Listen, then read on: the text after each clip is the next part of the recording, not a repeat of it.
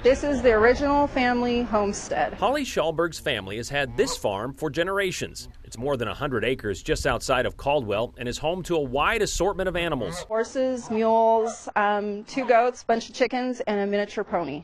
But just in the past week, they've added one more a goose. You can say he's kind of adopted them. Well, not us, but the car. Yep, this honker has the hots for Holly's Hot Rod Lincoln.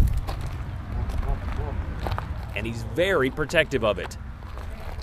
Just look how he goes after our less than fearless cameraman. Hope you saw his reaction.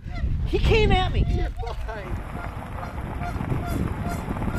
So protective that wherever the car goes, He goes, yeah. She says, just keep driving.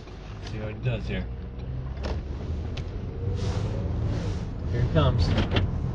He's, he's in the air. Is he? Yep. Oh my gosh. and you can see him coming up from behind on the passenger side. Here he comes. So the first time this happened, what were you thinking? I was shocked. I, I, I was kind I was scared. He's right over here off our right shoulder now. There he is. There's Lincoln.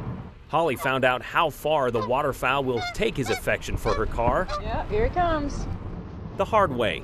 This is crazy. The day after he, I know.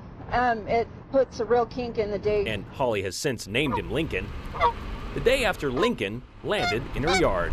So I go to pick up my niece at her preschool and notice, and the bird's trotting down the driveway and takes off, flies right behind me, and was keeping the pace 50 miles an hour all the way. Holly's only explanation for Lincoln's infatuation He's in love.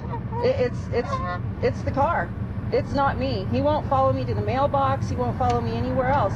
He will not leave this car. There are times when Holly slows down that Lincoln slides in front, putting the brakes on the drive and Holly's day.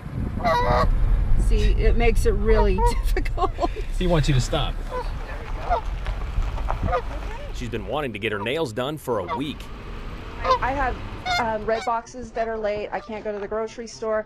I can't get anything done because he monopolizes the car. So what happens when he's like right in front of you like that? You just kind of I, I inch just have to sit.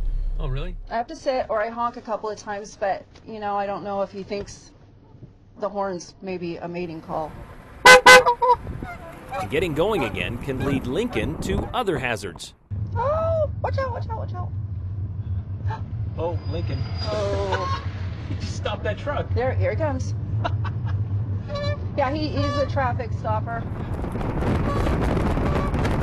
So this has become the new normal for Holly and her car, at least for now, or at least until Lincoln finds another mate for nesting season. How you doing, bud? It's too funny. Makes for a, a great story. Until then, Holly Schallberg will be known as the Mother Goose of Canyon County, the one with a literal wingman, whenever she takes her Lincoln for a drive.